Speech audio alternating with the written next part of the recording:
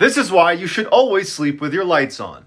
In 1991, a man named Christopher Case was found dead in his bathtub, fully clothed, in the fetal position. When police interviewed his best friend Sammy, she told them about a very disturbing phone call she got from him the night before he died. On the call, he told her that the previous night he had woken up to what sounded like whispering coming from underneath his bed. When he went to look, he couldn't move. As he laid helplessly, he watched a black figure pull itself out from underneath his bed. Once it was fully upright, it reached down and began choking him until he passed out. The next morning, when he came to, he felt his neck and it was swollen and bruised. And then he saw blood on his hands and he saw that there were deep, uniform incisions on each of his fingertips.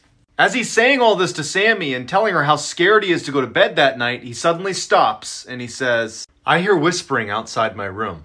Then the phone went dead.